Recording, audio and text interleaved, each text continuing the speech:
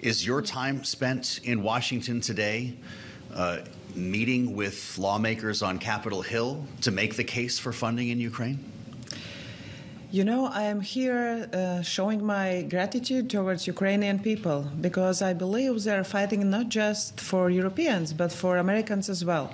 So that's why I see it's important that when we look to transatlantic relations, we could see those democratic values and liberties be met. Mm. That's why, for sure, I hope uh, there will be this decision about help to Ukraine because it's at utmost importance to my country, to Europe, to Ukrainians that uh, those promises and those international values we all are agreed some time ago, we can still be holding very high on our priorities.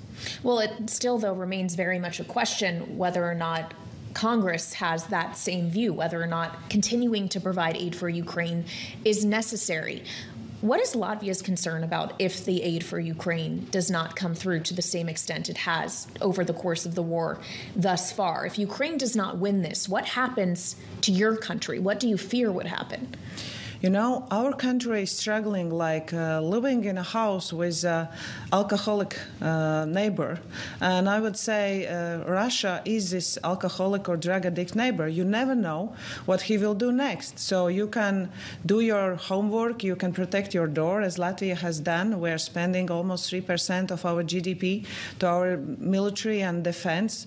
We are giving Ukraine help, almost of uh, 0.25 uh, for military capabilities, but we know that without uh, our allies uh, working together, Ukraine cannot succeed uh, in a speed we all wanting.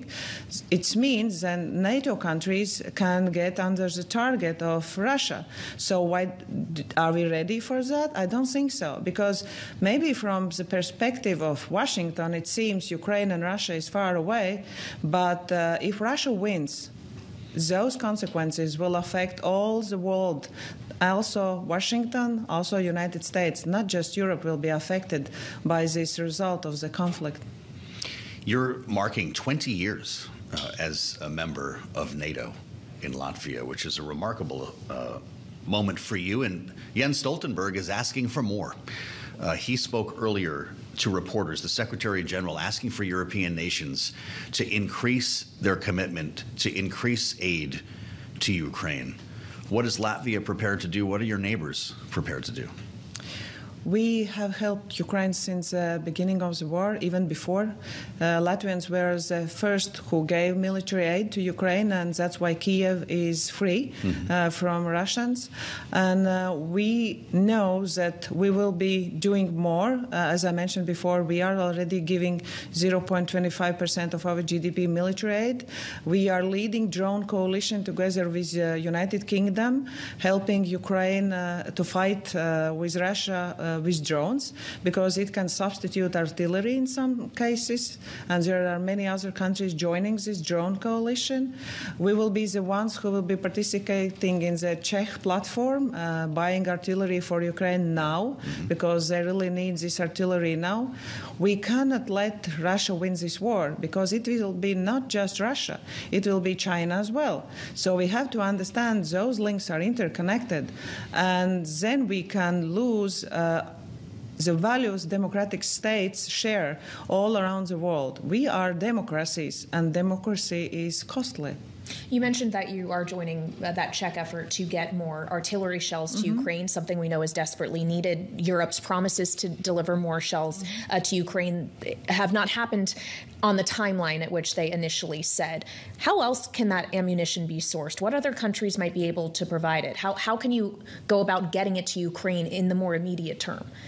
That's why we are joining this Czech uh. They are ready to uh, buy from third countries outside Europe, and we know that there will be many European countries joining this initiative. And we are looking towards India, maybe some other countries where we can find those artillery which we are not yet able to produce ourselves in Europe. The fact is that in Europe we are not able to produce so much as it is needed for Ukraine right now. That's why help from allies such as United States is very important, not just because uh, we cannot do something that's technically not possible in such a speedy way. And I believe it is doable if we can act together, if we can act together on a united uh, decision. It appears likely that Vladimir Putin will win another term as president this weekend. Mm. Uh, I'm not sure how much time will be spent counting votes, Prime Minister. Uh, but do you believe that it is his goal to reconstitute the Soviet Union? You know, it's hard to hard to analyze what Putin thinks yeah. because you know uh, he's uh, being a leader of that uh, country, a neighboring country of Latvia and Baltic states, for a quite a long time. And what I have seen, this country has become more desperate, uh, less liberty, less human rights, uh, less opportunities for freedom of speech. And I believe uh, he has some crazy ideas in his mind uh, if we can see what really happened with the war in Ukraine. So I can just imagine if he will have a sense that those democratic states have some crack in the wall and they are not as strong as we can act together, I believe he can use his uh, crazy ideas and try to threaten and try to fear uh, other countries in Europe. Europe, as well as it could be unpredictable. So that's the Russian president and a Russian election.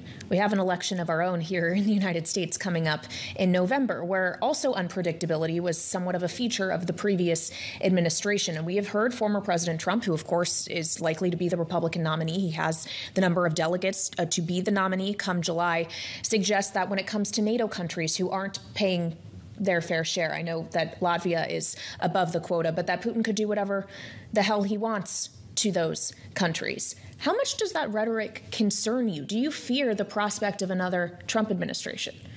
You know, during election time, uh, this procedure could be very messy, and maybe it's even good that sometimes it's messy because in Russia there is no even messy time. We just already know the results. So, at least in democratic states, we have a lot of very, uh, very strong discussions. Latvia sees United States as a very strong, our transatlantic ally. We have learned from you a lot, and we would like to do it in next upcoming years as well.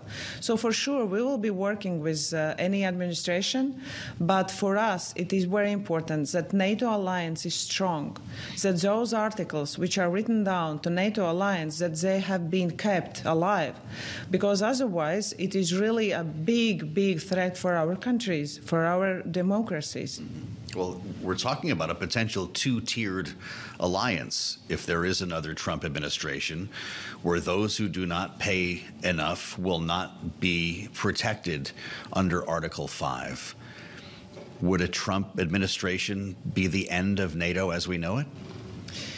You know, I have. Uh negotiated with some of uh, people out of White House, and I believe there is uh, strong belief in the values of NATO. Nevertheless, how maybe uh, publicly some messages have been said, I and I still believe in a united uh, uh, consensus of NATO. Otherwise, uh, we will weaken ourselves and we will weaken not just uh, NATO, we will weaken our countries. That's why Latvia will work with any administration, and uh, we will have a strong uh, belief uh, that uh, your elections will be good. And I wish your people uh, good elections, a good process in that. I really understand it, but I hope that we will not let down NATO alliance. Of course, when we think about the NATO alliance, Ukraine is not a member of that alliance. Ukraine is not entitled, obviously, because they're fighting a war with Russia, to the same protections that Article 5 provides, which is that other members of the alliance will even put boots on the ground if necessary uh, in order to defend you as a country. But we've heard Europeans suggest, French President Emmanuel Macron essentially said it wouldn't be off the table necessarily to see boots on the ground in Ukraine if it became necessary. Would Latvia ever be willing to do that? You've talked about all that you are providing to Ukraine in terms of drones, in terms of other uh, spending, obviously, effort to get artillery shells, but it would would it ever be men? Could there reach a point in which that becomes necessary?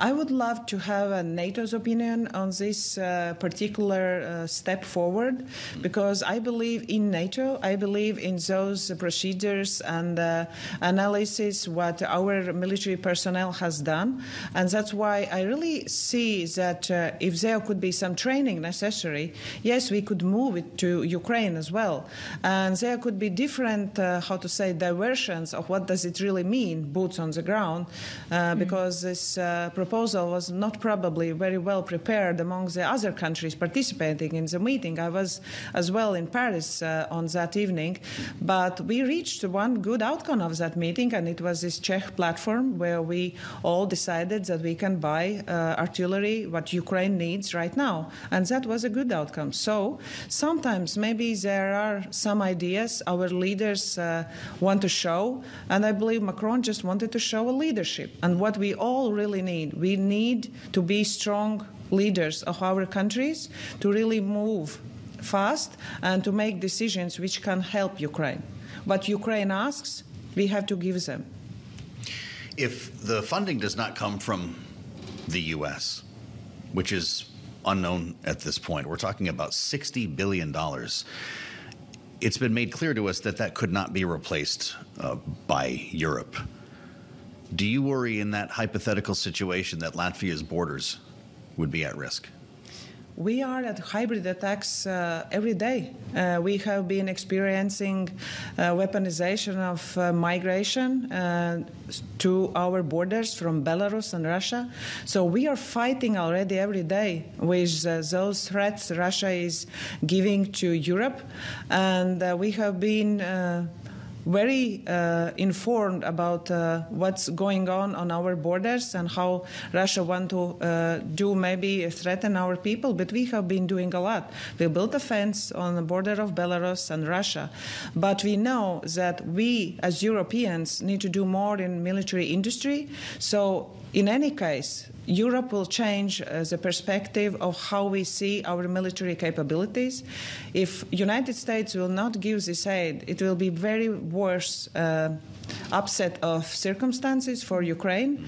And I believe the outcome of this situation could be, uh, as well as not good for United States, uh, United States as well, because you have been leaders of democracy, superpower, for quite a long time. Why do you think someone else would not want to step in if they see there is not this strong leadership towards aid to Ukraine?